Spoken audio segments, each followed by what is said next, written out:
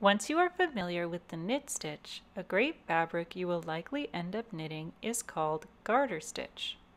Garter stitch is a pattern that makes a fabric that looks the same on both sides.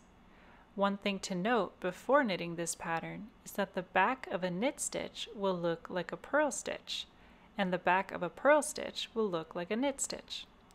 On any given side of the garter stitch, it looks like alternating rows of knit stitch the flat V-shapes, and purl stitch, the little bumps.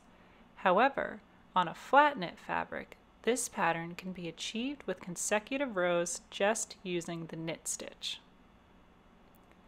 We can see that the row that we are about to knit into is a row of the purl stitches, the little bumps.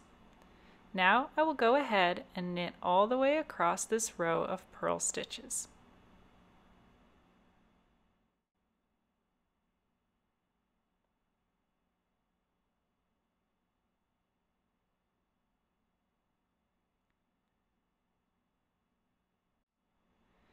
When I'm finished, you can see that the stitches that I just knit are the flat V shapes of the knit stitch.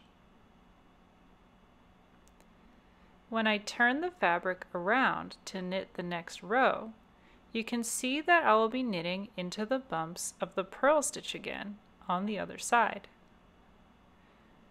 So the pattern just continues in this way, knitting a row turning the fabric around and knitting into the purl stitches on the other side. The pattern creates tidy looking alternating rows. You can just continue with this one row pattern and it will create a lovely plush fabric.